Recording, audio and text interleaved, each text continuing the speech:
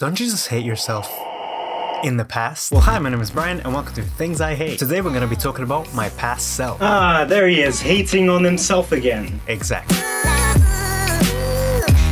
One year ago, I made a video called Things I Hate, Things I Hate, in which I explained why I didn't make videos anymore. And since it's been exactly one year, I thought it would be cool to share my thoughts about it one year later. Don't you just hate things I hate? No, no I don't. This video just feels like Brian 2022 didn't like his past self, which in my opinion is wrong. However, this is also true since after a while I didn't like that this series wasn't sending a positive message, which is what I've tried to do since, like in the Things I Hate Valentine's video, which instead of showing hate, I spoke about 10 things I love. I had a bit of an issue with filming videos. Oh, but Brian, you do that all the time. Oh, but Brian, you do that all the time. Yeah, I used to have this issue, but now I don't have it anymore. It's quite easy for me to film videos now. But this didn't happen all the time. Those examples I showed only happened about 10 times, and it was really annoying. But the rest of the time I was fine. But I never stopped filming videos. In fact, I filmed a lot, probably more than I ever did in the past few years. But I never released anything. I just didn't feel like it was worth watching or that it was interesting. It was mostly me sitting,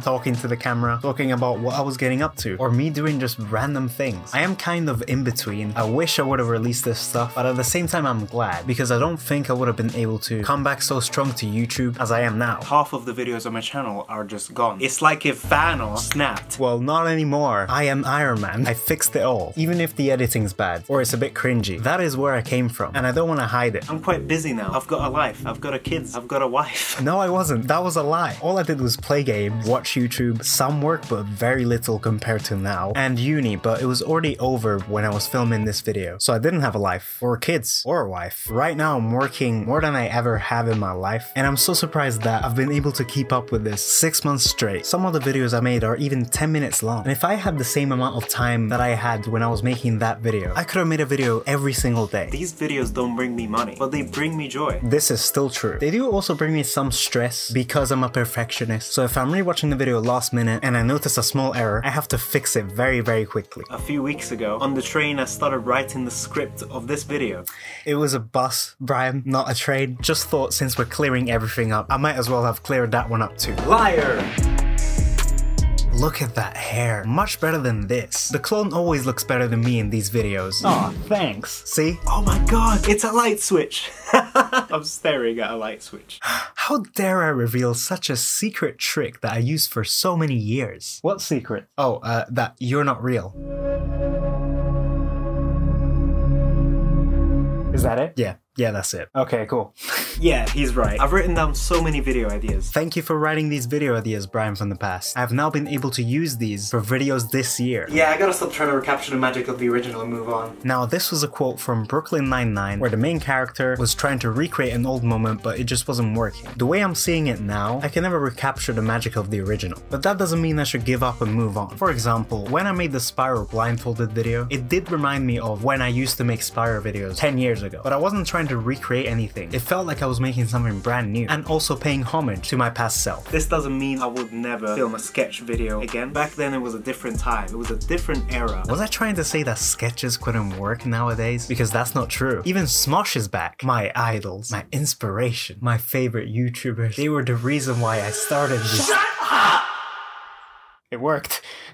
I have lots of ideas. I'd rather take my time with it than film a hundred bad episodes and film one good one. Well, you made many videos this year. Yeah? Well, do you think all of them are good? That's an interesting question. I know every video that I'm going to make this year isn't going to be amazing every time, but I'm making sure that I like what I'm making. Otherwise, you will never see it. However, I don't know about things I hate videos, since as I said in this video, there's not much I hate or dislike anymore. But let's not end this on a bad note. Let's end this on a good note, shall we?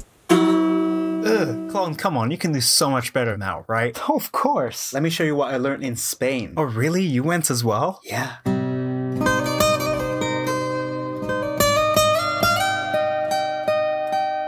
I. Stop. Sorry, I'm, I know I'm not good at That's copyrighted. We need to be careful. Oh, oh, that's Did what... you forget what happened with the KSI video? No, no, no, I know, I know. Do you want me to get copy straight again? So it wasn't my singing then. Oh no, it's also that. That was terrible. Terrible note to end on. I'm sorry. And also, I hate that song. It's so annoying to hear. I just don't like it. It's it's overplayed. It's so. Wait a second. What did you say? What? Did you just say you hate the song? Yeah, so? So, there's still some things you hate. Oh, I guess you're right. I will see you in the next episode of Things I Hate, where I'll be talking about songs I hate.